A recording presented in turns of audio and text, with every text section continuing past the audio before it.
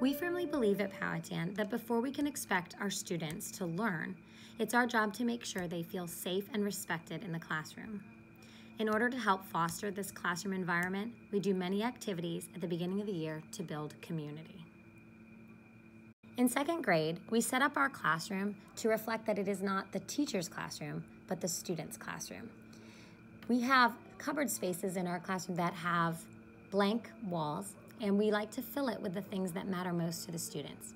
We invite them to bring in pictures of their family, awards they've received, drawings they've done, or work they're especially proud of, so they can display that in the classroom and share with their friends.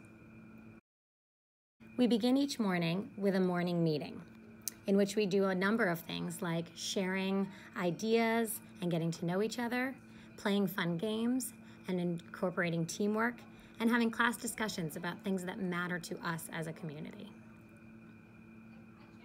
A couple of the things we've already done this year are making animal sounds to find your animal partner and then sharing with that partner for a few minutes about what their favorite animals are and then presenting that to the rest of the group.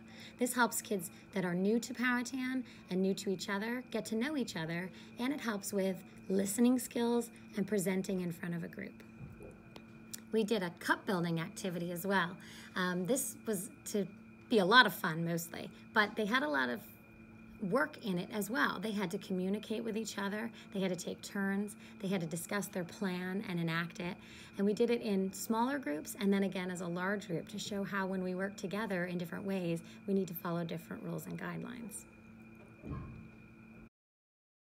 These first few weeks of school set the tone for the year and provide a positive, confidence building environment in which the kids are able to learn and grow.